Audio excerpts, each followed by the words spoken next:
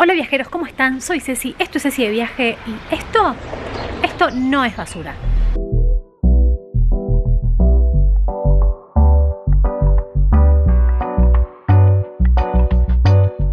Cuando tiramos el plástico en el cesto de reciclables es la última vez que lo vemos. Pero en realidad el plástico empieza un viaje, desde que se va de nuestras manos hasta que vuelve. Este es el viaje que les voy a mostrar hoy.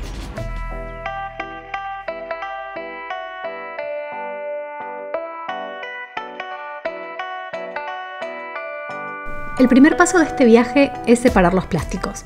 Cada vez en más lugares hay puntos verdes y cestos de reciclaje para que lo podamos hacer en cualquier lado, pero por supuesto también es importante hacerlo en casa. En la ciudad de Salta el plástico hace su propio viaje y gran parte de este viaje, digamos los operadores turísticos de este viaje, son Separemos Juntos, que es una rama del Servicio de Recolección de Residuos de la Municipalidad de la ciudad de Salta. Lo que hacen quienes componen este equipo es ir casa por casa, vecino por vecino, enseñando día, horario, forma, método para separar estos residuos. Estoy con Cintia, que es una de las chicas del área técnica de Separemos Juntos, y le pedí que me cuente a mí, que nos cuente a nosotros un poco de lo que les enseña a ellos. Si no tienen bolsa pueden hacerlo de esta manera, ¿sí? pueden hacer un sonajero este, uniendo cada, cada botella y sacarlo a la recolección selectiva, que aquí pasa tres veces a la semana, eh, martes, jueves y sábado a partir de las 2 de la tarde.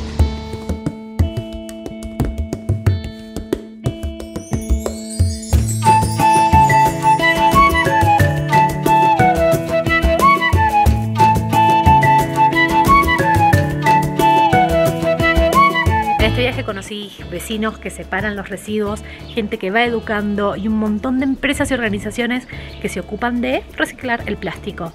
Pero la persona que más me gustó conocer fue una heroína total. Es Lucy, la dueña del hotel en el que estoy, que es la posta de Purmamarca, que separa los residuos. Ella es la dueña. Este es un eco hotel que se ocupa de un montón de detalles, pero una de las mejores cosas que hace es separar todos los residuos en no dos o tres tipos, ni siquiera 10 tipos, entre 30 y 40 tipos de residuos diferentes para después poder reutilizarlos o llevarlos a reciclar.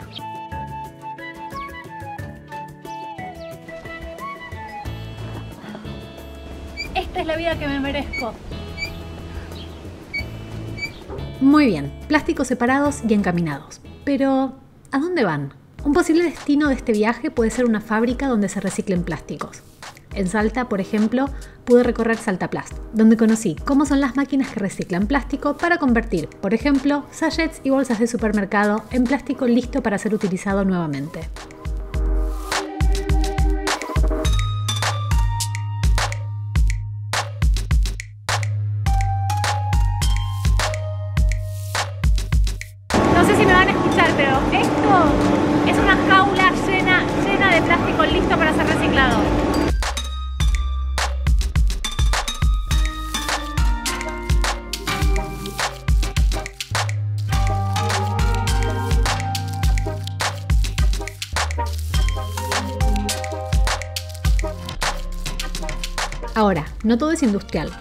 En Salvador de Jujuy, una pareja de artesanos armaron un pequeño taller en su casa para convertir los plásticos en distintos objetos de decoración.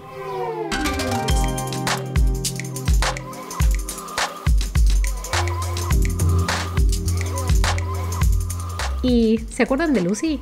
Todos esos plásticos que separa tan meticulosamente son recogidos por Tinku, una ONG que recicla y les da una nueva vida a todos los residuos que los vecinos separan.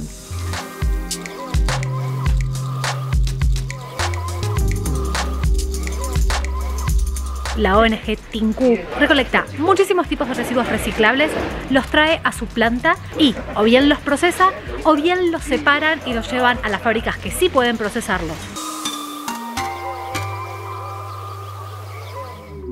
Importante, cuando pensamos en plástico no piensen solamente en la botellita de agua, que es como lo más fácil porque uno la tiene a mano por lo general, pero son el sachet de leche, el pote del yogur, la botellita de shampoo, el paquete de galletitas, todo eso es plástico.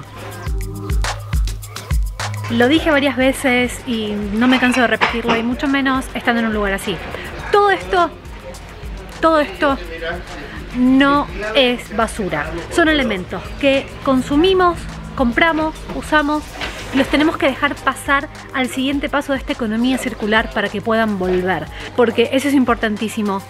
Ni siquiera les digo para el futuro. Es importantísimo ya, ahora mismo. ¿Y se acuerdan que les había dicho que el plástico volvía a nuestras manos? Estos cestos en los que estamos separando residuos están hechos de plástico reciclado. Volví a casa entendiendo mucho más sobre el destino de los plásticos y la economía circular, pero sobre todo con una profunda admiración por aquellos que destinan su tiempo a hacer del mundo un lugar mejor.